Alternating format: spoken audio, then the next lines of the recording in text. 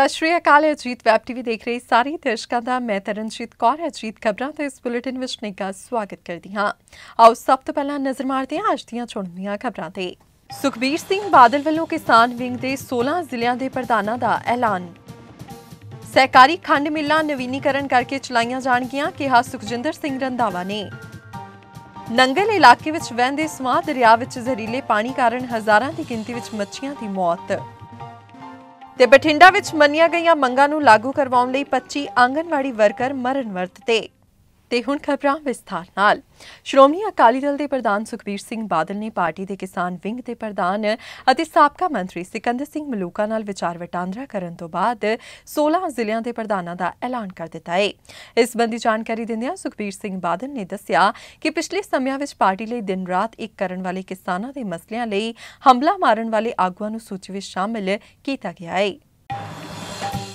ਪੰਜਾਬ ਸਰਕਾਰ ਵੱਲੋਂ ਕੋਈ ਵੀ ਸਹਿਕਾਰੀ ਖੰਡ ਮਿਲ ਬੰਦ ਨਹੀਂ ਕੀਤੀ ਜਾਵੇਗੀ, ਬਲਕਿ ਸਾਰੀਆਂ ਸਹਿਕਾਰੀ ਖੰਡ ਮਿੱਲਾਂ ਨੂੰ ਚਲਾਉਣ ਲਈ ਠੋਸ ਉਪਰਾਲੇ ਕੀਤੇ ਜਾਣਗੇ। ਚੰਡੀਗੜ੍ਹ ਵਿੱਚ ਪੰਜਾਬ ਭਵਨ ਵਿਖੇ ਸੂਬੇ ਦੀਆਂ ਸਹਿਕਾਰੀ ਖੰਡ ਮਿੱਲਾਂ ਦੀ ਮੌਜੂਦਾ ਸਥਿਤੀ ਅਤੇ ਭਵਿੱਖ ਵਿੱਚ ਕੀਤੇ ਜਾਣ ਵਾਲੇ ਸੁਧਾਰ ਕਰਨ ਲਈ ਵਿਭਾਗ ਦੇ ਅਧਿਕਾਰੀਆਂ ਅਤੇ ਵਿਧਾਇਕਾਂ ਨਾਲ ਸਹਿਕਾਰਤਾ ਮੰਤਰੀ ਸਰਦਾਰ ਸੁਖਜਿੰਦਰ ਸਿੰਘ ਰੰਧਾਵਾ ਨੇ ਮੀਟਿੰਗ ਕੀਤੀ।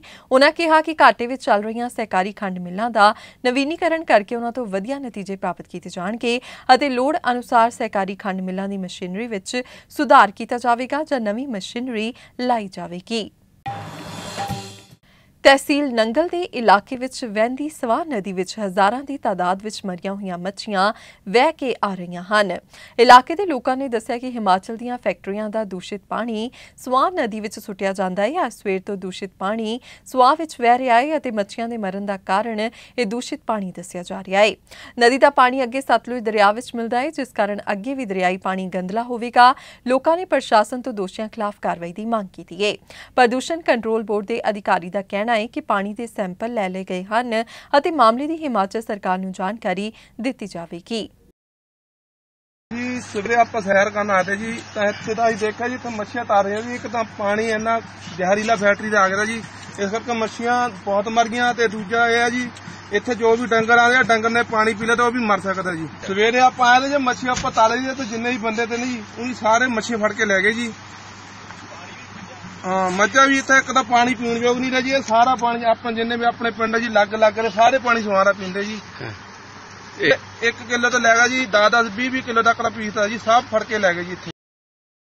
ਕੋਈ ਨਹੀਂ ਬਹੁਤ ਵਧੀਆ ਪਾਣੀ ਦਾ ਸਾਡੀ ਸਤਲੁਜ ਨਦੀ ਦਾ ਸਵਾਂ ਵਗਦਾ ਹੈ ਸਾਡਾ ਮਤਲਬ ਸਾਰੇ ਪਿੰਡਾਂ ਨੂੰ ਬਹੁਤ ਸਹੂਲਤ ਆ ਜੀ ਦੀ ਸਾਡੇ ਡੰਗਰ ਪਸ਼ੂ ਚੁਗਦੇ ਇੱਥੇ ਚਾਰਾ ਲੈ ਜਾਂਦੇ ਐ ਸਾਰਾ ਖਰਾਬ ਹੋ ਗਿਆ ਜੀ ਇਹ ਪਾਣੀ ਨਾਲ। ਫੈਕਟਰੀ ਨੇ ਗੰਦਾ ਪਾਣੀ ਛੱਡ ਦਿੱਤਾ ਜਿਹਦੇ ਕਾਰਨ ਸਾਰੀ ਮੱਛੀ ਮਰ ਗਈ ਸਵਾਂ ਦੇ ਵਿੱਚੋਂ। ਤੇ ਸਾਨੂੰ ਲੰਘਣ ਟੱਪਣ ਦੀ ਬੜੀ ਪ੍ਰੋਬਲਮ ਹੋ ਰਹੀ, ਪੈਰਾਂ 'ਚ ਖੁਜਲੀ ਹੋ ਰਹੀ ਹੈ। ਜਿਹੜੀ ਫੈਕਟਰੀ ਨੇ ਗੰਦਾ ਪਾਣੀ ਛੱਡੇ, ਤੇ ਸਖਤ ਕਾਰਵਾਈ ਹੋਣੀ ਚਾਹੀਦੀ ਜੀ ਹਾਂ, ਆਪਾਂ ਨੇ ਮੌਕਾ ਦੇਖਿਆ ਜੀ, ਪਲੜੀ ਪਿੰਡ ਦੇ ਨੇੜੇ ਜਿਹੜੇ ਸਵਾਂ ਪਿੰਡ ਹੈ, ਸਵਾਂ ਨਦੀ ਹੈ, ਉਹ ਦੇਖੀ ਆਪਾਂ ਨੇ ਉੱਥੇ ਜਾ ਕੇ। ਤੇ ਇੱਕ ਆਪਾਂ ਨੇ ਨਾਨਗਰਾ ਦੇਖਿਆ ਜੀ, ਤੇ ਐਲਗਰਾ ਦੇਖਿਆ। ਠੀਕ ਹੈ ਜੀ? ਤੇ ਉੱਥੋਂ ਸਾਨੂੰ ਡਰੇਨੇਜ ਮਹਿਕਮੇ ਵਾਲੇ ਬੰਦੇ ਉੱਥੋਂ ਕੰਟੈਕਟ ਕੀਤਾ ਗਿਆ ਉਹਨਾਂ ਨੂੰ, ਤੇ ਉਹਨਾਂ ਨੇ ਦੱਸਿਆ ਸਾਨੂੰ ਕਿ ਜਿਹੜਾ ਪਾਣੀ ਆ ਰਿਹਾ ਹੈ, ਇਹ ਉੱਪਰੋਂ ਆ ਰਿਹਾ ਹੈ ਹਿਮਾਚਲ ਤੋਂ। ਤੇ ਇੰਡਸਟਰੀਅਲ ਐਫਲੂਐਂਟ ਆ ਰਿਹਾ ਹੈ ਵਿੱਚੋਂ ਵਿੱਚ ਜਿਹੜਾ ਆਪਣਾ ਇੱਕ ਤਾਂ ਟਾਲੀਵਾਲ ਦਾ ਟਾਲੀਵਾਲ ਇੰਡਸਟਰੀਅਲ ਏਰੀਆ ਦਾ ਤੇ ਇੱਕ ਆਪਣਾ ਮੈਥਪੁਰ ਇੰਡਸਟਰੀਅਲ ਏਰੀਆ ਦਾ। ਠੀਕ ਹੈ। ਜੀ।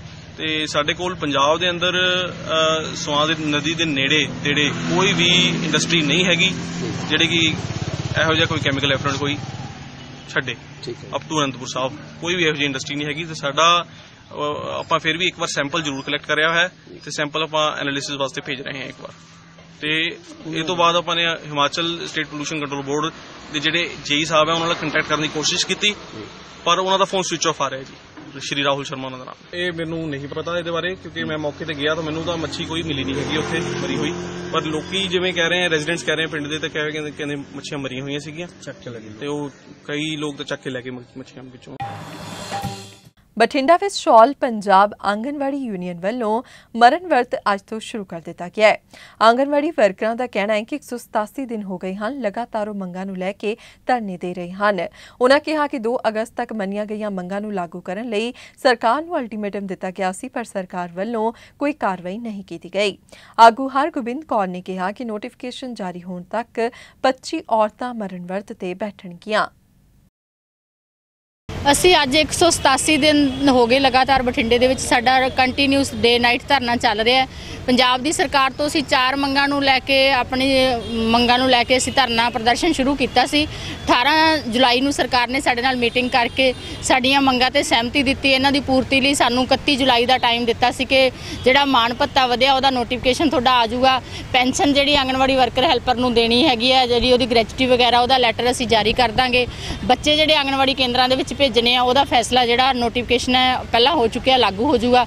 ਪਰ ਅਸੀਂ 2 ਅਗਸਤ ਤੱਕ ਵੇਟ ਕੀਤੀ ਹੈ। ਅਸੀਂ ਪਹਿਲਾਂ ਕਾਲ ਦਿੱਤੀ ਸੀਗੀ ਕਿ ਜੇ 2 ਅਗਸਤ ਤੱਕ ਸਰਕਾਰ ਨੇ ਸਾਡੀਆਂ ਮੰਗਾਂ ਪੂਰੀਆਂ ਪੂ- ਜਿਹੜੀਆਂ ਮੰਗਾਂ ਪੂਰੀਆਂ ਕੀਤੀਆਂ, ਲਾਗੂ ਨਾ ਕੀਤੀਆਂ, ਤਾਂ ਅਸੀਂ 3 ਅਗਸਤ ਤੋਂ ਮਰਨ ਵਰਤ ਤੇ ਬੈਠਾਂਗੇ।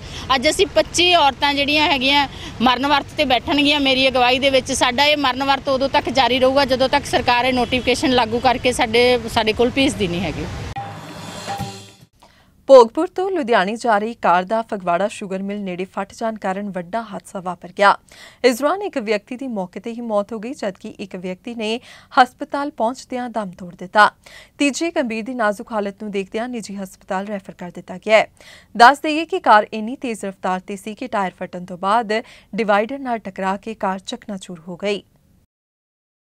ਸਵੇਰੇ ਪੌਣੇ ਕੁ ਗਿਆਰਾਂ ਇੱਕ ਸਲਾਹ ਕੰਟਰੋਲ ਰੂਮ ਅਸੀਂ ਆਈ ਸੀ ਕਿ ਤਿੰਨ ਮੁੰਡੇ ਨਵਦੀਪ ਗੁਰ- ਗੁਰਸੇਵਕ ਤੇ ਜਰਮਨਜੀਤ। ਇਹ ਹੋਂਡਾ ਸਿਟੀ ਕਾਰ 'ਚ ਜਲੰਧਰ ਵੱਲੋਂ ਫਗਵਾੜਾ ਨੂੰ ਆ ਰਹੇ ਸੀ। ਕਾਰ ਓਵਰ ਸਪੀਡ ਸੀ ਬੇਕਾਬੂ ਹੋ ਕੇ ਪਹਿਲਾਂ ਲੱਗੀ ਉਹਦੇ ਵਿੱਚ ਅਹ, ਫੁੱਟਪਾਥ 'ਚ ਮੁੜ ਕੇ ਖੰਭੇ ਲੱਗ ਕੇ ਐਕਸੀਡੈਂਟ ਕਾਫੀ ਜਿਹੜਾ ਅਹ, ਦਾ ਹੋ ਗਿਆ। ਜਿਹਦੇ 'ਚ ਨਵਦੀਪ ਤੇ ਜਰਮਨਜੀਤ ਦੋਨੇ ਜਿਹੜੇ ਆ ਉਹਨਾਂ ਨਾਲ ਹੋ ਗਏ ਤੇ ਦੂਜਾ ਗੁਰਸੇਵਕ ਜਿਹੜਾ ਜਿਹੜੇ ਲਾਇਆ ਜਲੰਧਰ ਉਹਨਾਂ ਦੇ ਪਰਿਵਾਰਕ ਮੈਂਬਰ ਆਏ ਆ। ਬਿਆਨ ਲਿਖ ਕੇ ਜਿਹੜੀ ਵੀ ਕਾਨੂੰਨੀ ਕਾਰਵਾਈ ਹੈ ਉਸ ਅਮਲ 'ਚ ਲਿਆਉਣਗੇ ਜੰਮੂ ਕਸ਼ਮੀਰ ਦੇ ਸ਼ੋਪੀਆ ਜ਼ਿਲ੍ਹੇ ਵਿੱਚ ਦਹਿਸ਼ਤਗਰਦਾਂ ਵੱਲੋਂ ਜੰਮੂ ਕਸ਼ਮੀਰ ਬੈਂਕ ਵਿੱਚੋਂ ਨਕਦੀ ਲੁੱਟ ਲਈ ਗਈ। ਇਸ ਦੇ ਨਾਲ ਹੀ ਦਹਿਸ਼ਤਗਰਦ ਬੈਂਕ ਦੀ ਬ੍ਰਾਂਚ ਵਿੱਚ ਤਾਇਨਾਤ ਸੁਰੱਖਿਆ ਗਾਰਡ ਤੋਂ 12 ਬੋਰ ਰਾਈਫਲ ਖੋਹ ਕੇ ਫਰਾਰ ਹੋ ਗਏ। ਇਸ ਤੋਂ ਇਲਾਵਾ ਇੱਕ ਹੋਰ ਘਟਨਾ ਵਿੱਚ ਅੱਤਵਾਦੀਆਂ ਨੇ ਅਨੰਤਨਾਗ ਵਿੱਚ ਸੀਆਰਪੀਐਫ ਦੀ ਪਾਰਟੀ ਤੇ ਗ੍ਰਨੇਡ ਹਮਲਾ ਕੀਤਾ। ਇਸ ਹਮਲੇ ਵਿੱਚ ਸੀਆਰਪੀਐਫ ਦੇ ਦੋ ਜਵਾਨ ਜ਼ਖਮੀ ਹੋਏ ਹਨ। ਦੋਵਾਂ ਮਾਮਲਿਆਂ ਵਿੱਚ ਸੁਰੱਖਿਆ ਬਲਾਂ ਵੱਲੋਂ ਅੱਤਵਾਦੀਆਂ ਦੀ ਭਾਲ ਕੀਤੀ ਜਾ ਰਹੀ ਹੈ ਉਧਰ ਉੱਤਰ ਕਸ਼ਮੀਰ ਦੇ ਬਾਰਾਮੂਲਾ ਜ਼ਿਲ੍ਹੇ ਦੇ ਸਪੋਰ ਇਲਾਕੇ ਦੇ ਬਹਿਰਾਮਪੁਰਾ ਵਿੱਚ ਮੁਕਾਬਲੇ ਦੌਰਾਨ ਦੋ ਅੱਤਵਾਦੀ ਢੇਰ ਕਰ ਦਿੱਤੇ ਗਏ। ਸਾਧੂਆਂ ਨੂੰ ਨਪੁੰਸਕ ਬਣਾਉਣ ਦੇ ਮਾਮਲੇ ਵਿੱਚ ਸੀਬੀਆਈ ਅਦਾਲਤ ਨੇ ਦੋਸ਼ੀਆਂ ਖਿਲਾਫ ਦੋਸ਼ ਤੈਅ ਕੀਤੇ ਹਨ। ਇਸ ਮਾਮਲੇ ਵਿੱਚ ਦੋਸ਼ੀ ਡੇਰਾ ਸਿਰਸਾ ਪ੍ਰਮੁੱਖ ਰਾਮ ਰਹੀਮ ਨੂੰ ਵੀਡੀਓ ਕਾਨਫਰੰਸ ਰਾਹੀਂ ਪੇਸ਼ ਕੀਤਾ ਗਿਆ। ਰਾਮ ਰਹੀਮ ਡਾਕਟਰ ਪੰਕਜ ਗਰਗ ਤੇ ਡਾਕਟਰ ਮਹਿੰਦਰ ਇਨਸਾ ਖਿਲਾਫ ਦੋਸ਼ ਤੈਅ ਹੋਏ ਹਨ। ਸਿਟੀ ਸੈਂਟਰ ਮਾਮਲੇ ਵਿੱਚ ਵਿਜੀਲੈਂਸ ਦੇ ਸਾਬਕਾ ਐਸਐਸਪੀ ਕਵਰਜੀਤ ਸਿੰਘ ਸੰਧੂ ਵੱਲੋਂ ਪਟੀਸ਼ਨ ਦਾਇਰ ਕਰਕੇ ਉਹਨਾਂ ਨੂੰ ਵੀ ਕੇਸ ਵਿੱਚ ਪਾਰਟੀ ਬਣਾਏ ਜਾਣ ਦੀ ਮੰਗ ਤੇ ਸੁਣਵਾਈ 8 ਅਗਸਤ ਤੇ ਪਾ ਦਿੱਤੀ ਗਈ ਹੈ ਸੰਧੂ ਦੇ ਵਕੀਲ ਵਿਜੇ ਮਹਿੰਦਰ ਨੇ ਦੱਸਿਆ ਕਿ ਅਦਾਲਤ ਨੇ ਮਾਮਲੇ ਵਿੱਚ ਮੌਜੂਦਾ ਸਾਰੇ ਦੋਸ਼ੀਆਂ ਤੋਂ ਪਟੀਸ਼ਨ ਨੂੰ ਲੈ ਕੇ ਜਵਾਬ ਮੰਗਿਆ ਸੀ, ਜਿਸ ਤੇ ਕਿਸੇ ਵੀ ਦੋਸ਼ੀ ਨੇ ਜਵਾਬ ਨਹੀਂ ਦਿੱਤਾ। ਉਹਨਾਂ ਕਿਹਾ ਕਿ ਕਵਰਜੀਤ ਸਿੰਘ ਸੰਧੂ ਨੇ ਮਾਮਲਾ ਦਰਜ ਕੀਤਾ ਸੀ, ਜੋ ਕਿ ਮਾਮਲੇ ਵਿੱਚ ਸ਼ਿਕਾਇਤ ਕਰਤਾ ਹਨ ਅਤੇ ਅਦਾਲਤ ਨੂੰ ਉਹਨਾਂ ਨੂੰ ਸੁਣਨ ਦਾ ਮੌਕਾ ਦੇਣਾ ਚਾਹੀਦਾ ਹੈ ਅੱਜ ਜਿਹੜਾ ਕੈਪਟਨ ਸਾਹਿਬ ਵਾਲਾ ਕੇਸ ਲੱਗਿਆ ਸੀਗਾ, ਉਹਦੇ ਵਿੱਚ ਡਿਸਟ੍ਰਿਕਟ ਅਟਾਰਨੀ ਨੇ ਰਿਪਲਾਈ ਦਿੱਤਾ ਸੀਗਾ ਤੇ ਰਿਮੇਨਿੰਗ ਅਕਿਊਜ਼ਡ ਜਿਹੜੇ ਸੀਗੇ, ਉਹਨਾਂ ਨੇ ਅਪੀਅਰ ਹੋਣਾ ਸੀਗਾ। ਉਹ ਅੱਜ ਅਪੀਰ ਹੋ ਕੇ ਉਹਨਾਂ ਨੇ ਵੀ ਆਪਣੇ ਬਿਆਨ ਦੇ ਦਿੱਤੇ ਵੀ ਉਹ ਕੋਈ ਇਸ ਕੇਸ ਦੀ ਸਾਡੀ ਜਿਹੜੀ ਸੰਧੂ ਸਾਹਿਬ ਨੇ ਐਪਲੀਕੇਸ਼ਨ ਲਾਈ ਹੈ, ਉਹਦਾ ਕੋਈ ਜਵਾਬ ਨਹੀਂ ਦੇਣਾ ਚਾਹੁੰਦੇ। ਤੇ ਤੇ ਡੀਏ ਸਾਹਿਬ ਨੇ ਮਿਸਟਰ ਡਾਇਰੈਕਟਰ ਪ੍ਰੋਸੀਕਿਊਸ਼ਨ ਚੰਡੀਗੜ੍ਹ ਤੋਂ ਆਏ ਸੀਗੇ। ਉਹਨਾਂ ਨੇ ਕੇਸ ਆਰਗੂ ਕੀਤਾ ਕਿ ਕਿ ਸੰਧੂ ਸਾਹਿਬ ਜਿਹੜੇ ਕੰਪਲੇਨੈਂਟ ਹੈ ਇਸ ਕੇਸ ਦੇ ਵਿੱਚ, ਉਹਨਾਂ ਨੂੰ ਕੋਈ ਰਾਈਟ ਨਹੀਂ ਹੈਗਾ ਟੂ ਬੀ ਹਰਡ ਸਾਡੀ ਵਰਸ਼ਨ ਆਹੀ ਹੈ, ਕਿਉਂਕਿ ਇਹਨਾਂ ਨੇ ਇਨਵੈਸਟੀਗੇਸ਼ਨ ਕੀਤੀ ਹੈ, ਇਹਨਾਂ ਨੇ ਪਰਚਾ ਦਰਜ ਕੀਤਾ ਵਾ ਹੈ, ਇਹਨਾਂ ਦੇ 164 ਦੇ ਬਿਆਨ ਲਿਖੇ ਹੈ।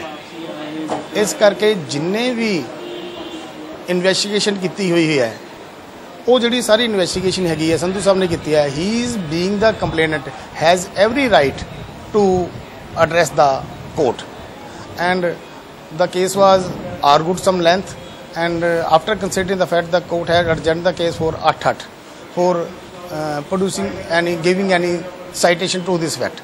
ਅਸੀਂ 8-8 ਨੂੰ ਸੁਪਰੀਮ ਕੋਰਟ ਦੇ ਆਪਣੇ ਆਪਣੇ ਹਾਈ ਕੋਰਟ ਦੀਆਂ ਜਿਹੜੀਆਂ ਲਾਅ ਪੁਆਇੰਟ ਹੈਗੇ ਦਵਾਂਗੇ ਜਿੱਤੇ ਵੀ ਕੰਪਲੇਨਟ ਨੂੰ ਪੂਰਾ ਰਾਈਟ ਹੈ ਤੇ ਜਿਹੜੇ ਸੰਧੂ ਸਾਹਿਬ ਹੈ ਉਹ ਕੇਸ ਦੇ ਵਿੱਚ ਕੰਪਲੇਨਟ ਬੰਦੇ ਹੈ।